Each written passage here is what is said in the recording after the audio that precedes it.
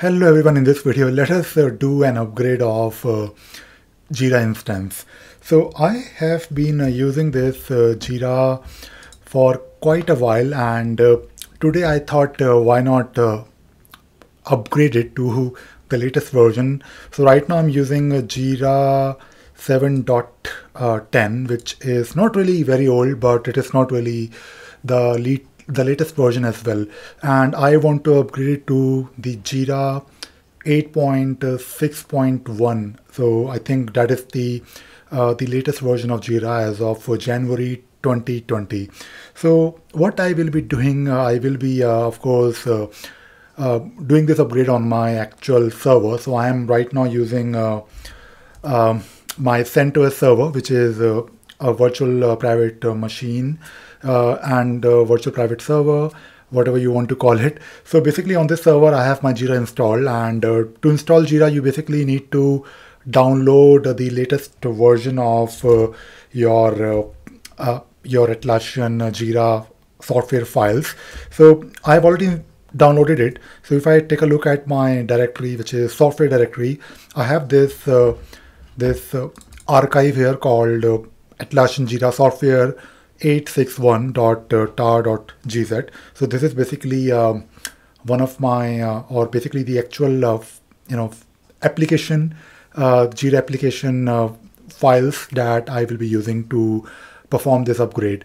And uh, on this server, I will first uh, show you my my application directory and my home directory. So when you're installing Jira, you basically have to worry about two directories and the first one is your uh, Jira uh, Jira home directory which is uh, basically a directory where you will uh, where you will have the the the attachments and you will have the configurations to your database and you will have your log files.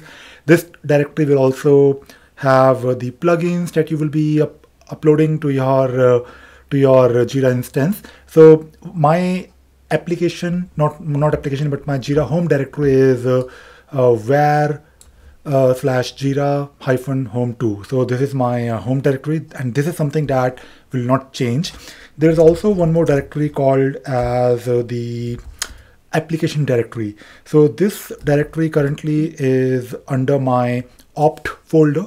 So there is a directory called opt slash atlassian slash jira. And if I take a look at this, uh, uh, this directory here, I basically have uh, a, a symlink called current. And this symlink will uh, point to the directory where I want uh, my latest Jira application files to be. So this is not really mandatory. It is something, uh, you know, uh, as a good practice, it will make your life easier. Let us say you copy the new folder here. So all you need to do is you need to change the symlink from this location to uh, uh, to the new folder. So you just need to change the current symlink. So let us uh, start installing Jira. And the first thing that I will probably do is I will uh, copy the uh, the latest Atlassian Jira software files to this uh, directory. So let us do the copy here and uh, then we'll uh, do the, um, uh, then we'll uh, expand or extract the files. So let me just do a simple copy here. So after you copy it, you can take a look again in your directory. So this is now, now copied to my uh, opt slash atlassian slash jira directory. And what I can do now, I can extract the files. So I will type in my command uh, tar hyphen x zvf and I will simply oh, I need to go to the OPT folder. So let us go to the OPT folder and uh, let us take a look at the files that we just uh, downloaded, which is starting with 861. So if we extract this, it will uh, of course take maybe a few minutes and uh, then all we need to do is we need to change the symlink to this directory. So while uh, this is happening, I will probably go back to my Jira instance and uh, uh, right now my Jira is running. I have not shut it down, but when you of course uh, uh, do the upgrade, you need to shut it down there will be a downtime and uh, then you can uh, do your changes and of course you need to run it again. So if I take a look at uh, the directory st structure uh, again under my OPT Atlassian Jira so the files are now copied to my uh, my my directory. So this is I think I did a wrong thing I did something really wrong. So I did this uh, extract in the current uh, directory from where I issued the command. So I don't really want to do this. I can copy it, but let us get rid of it. I'll uh, probably move into uh, the actual uh, OPT directory and then I'll uh, probably uh, do it again. So let us go into the directory and now if I take a look at the structure, I do have the archive here. So let me just uh, run the command here again to extract it under my OPT at Atlassian Jira. So let me find my command. So this is my command and uh, let us do it again.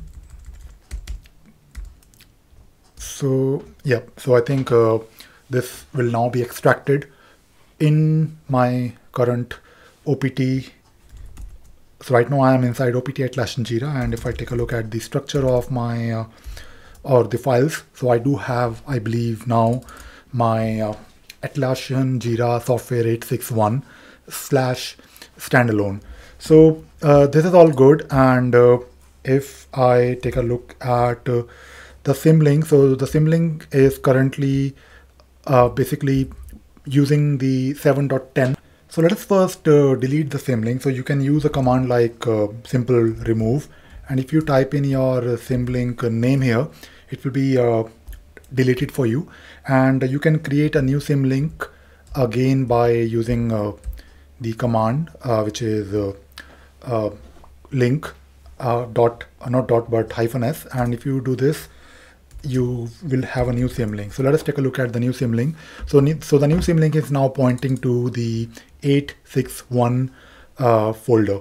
Now, there are a few more things uh, that we need to do. And before I do this, let me just uh, shut down my Jira instance and uh, let me just uh, make sure that my Jira uh, is not really running. So I'll probably type in the command here to stop my Jira.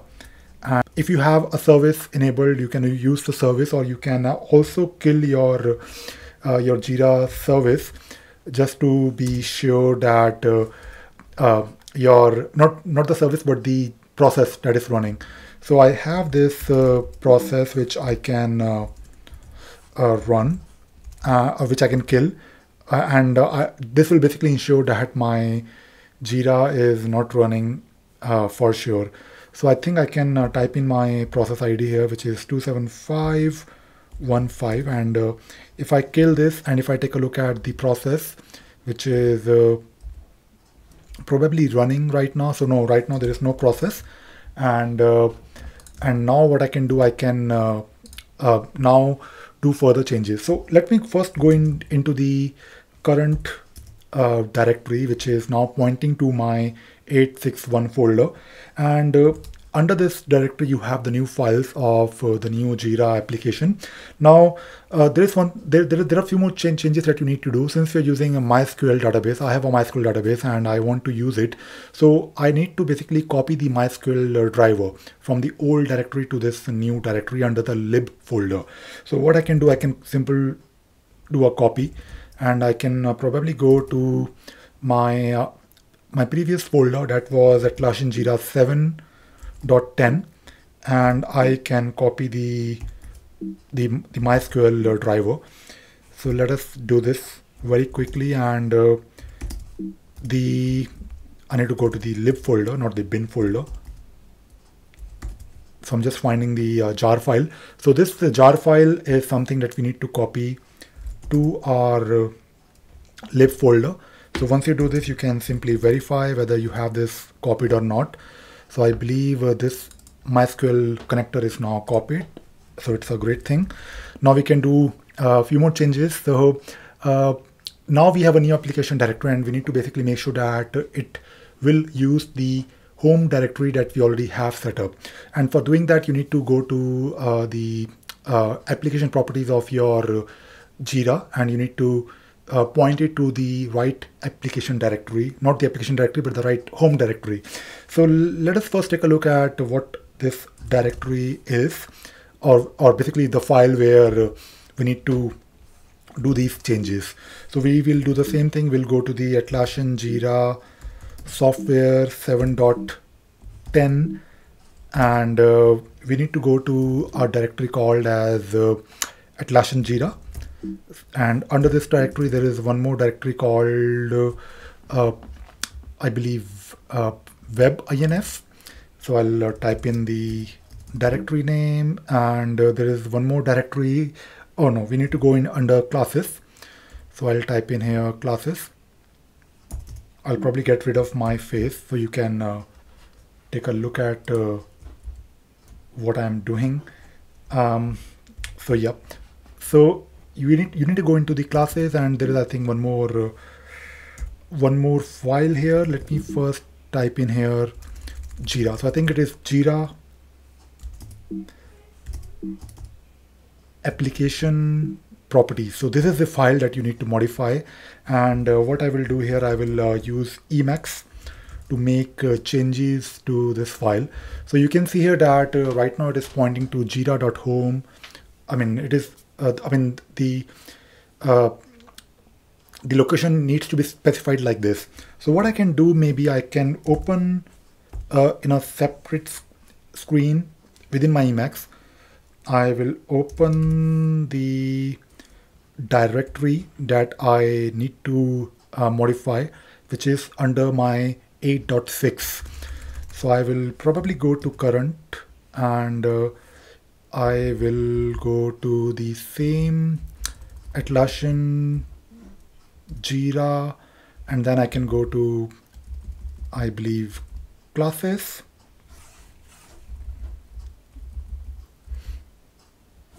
Oh no we need to go to the web inf and uh, we then need to go to go to class and uh, I will probably use something like this. So it is easier to basically uh, open the file. So we have the uh, file that we can uh, modify. And this needs to point to the home directory that we have which is uh, var slash jira home and 2 and I believe uh, this is it. And uh, what we can do now uh, first I can take a look at let me first clear this for you.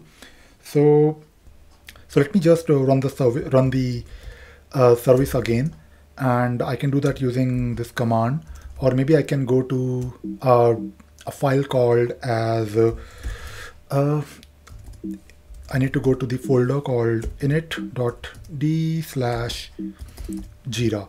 So this is uh, the the the service that I can or, or basically this is the file that actually runs the Jira as a service. So I can directly stop Jira or start Jira by using this uh, this uh, command. And by the way, uh, if you want to do if you want to do the same thing, I mean when you install Jira, you have the option to also install it as a service, both on Linux or Windows. And uh, if you read the documentation of Atlassian when it comes to installing Jira or maybe upgrading Jira, you have everything documented.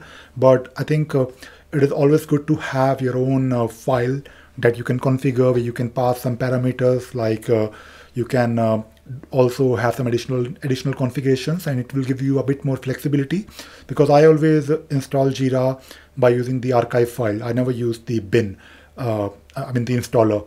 So what I can do here, I can start Jira here and uh, this will probably take some time. And now we need to wait for Jira to basically uh, be up and running. And if I go to the UI of my Jira instance and if I do a refresh, uh, I don't think I uh, will have Jira running immediately, but I can see here that now Jira is uh, is uh, initiating or it is uh, starting up because we just ran the service.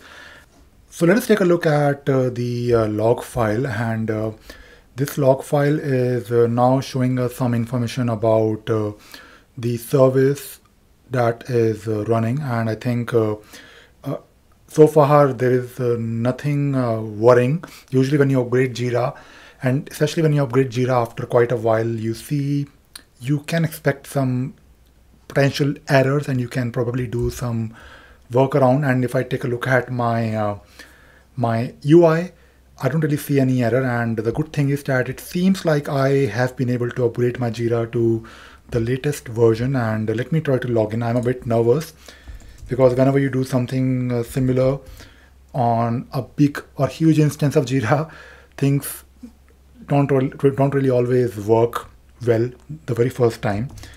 And uh, if I try to log in, I should be able to log in, and I, I, and, and of course I will be able to take a look at the upgrade report.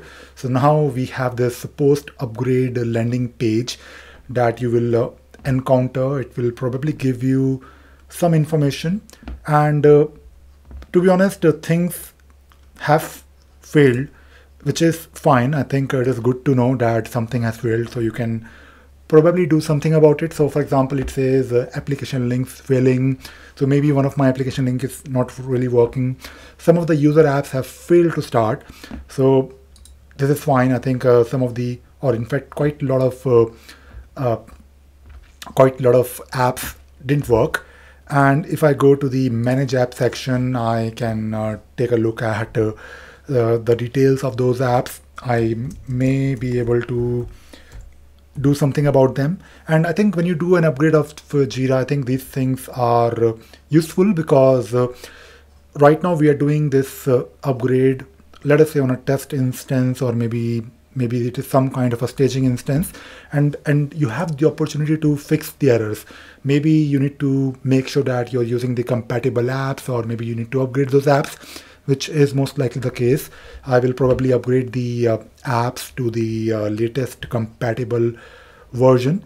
And uh, and as you can see here on the screen, if I take a look at uh, the uh, the um, list of apps, it will tell you what went wrong. So for example, for most of the apps, you need to basically update them. So this is something that you can expect as well when you're doing an update of uh, Jira. When you're upgrading Jira, I think you need to know what went uh, wrong and uh, how you can fix it. But the good thing is that uh, our Jira is uh, upgraded to the latest version and we'll be able to do uh, new wonderful things with the new instance of Jira running on latest 8.6.1. So th this is all I wanted to uh, share in this uh, video and I hope you enjoyed and you learned something new today. Thank you very much.